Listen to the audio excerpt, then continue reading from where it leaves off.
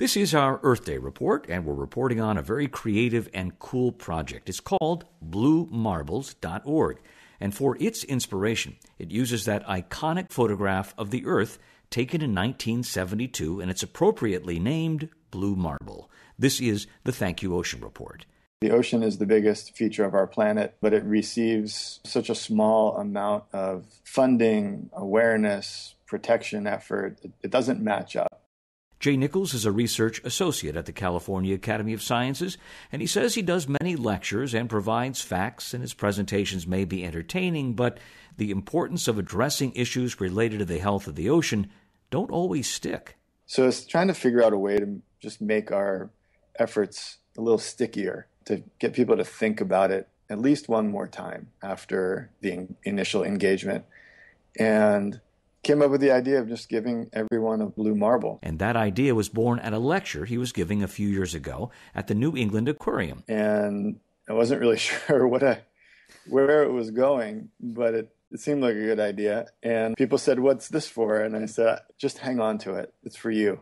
And remember, Jay didn't really know what he was going to ask people to do with that blue marble. By the end of the lecture, it all came together because the last slide in the PowerPoint was that photograph of our planet taken in its entirety from space, and it's called the Blue Marble. And the message he came up with was pretty simple take the blue marble in your hand, share it with someone, and thank them for the work they're doing to take care of our planet, and ask them to do the same thing. In other words, pass it along. People emailed and called and sent photos and stories, which led me to set up a very simple blog to collect those stories and, and share them with anybody who was interested. And so more and more marbles started going out to more and more people. And then people would say, Hey, I, have got an event. Can I get 100 marbles? And of course, that meant Jay needed to figure out how people could get blue marbles of their own. There's a place called Marble King in West Virginia that makes the last manufacturer left in the U.S. Uh, of marbles. And we, we've been buying all of their blue marbles they're made out of recycled glass, by the way.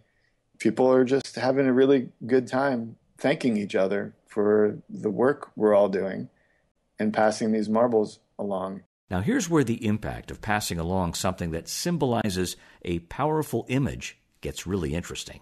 That blue marble photograph is the most reproduced photograph ever.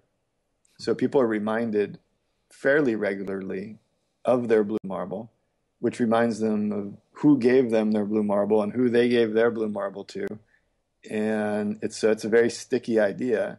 You can't stop it. It just keeps going. So there are about a million blue marbles out there. And each of those marbles moves through countless numbers of other hands. And some of them have found their way to people like Jane Goodall, Sylvia Earle, James Cameron, Harrison Ford. They just get passed along. And if you want to participate, there are no rules, except the marble has to be blue.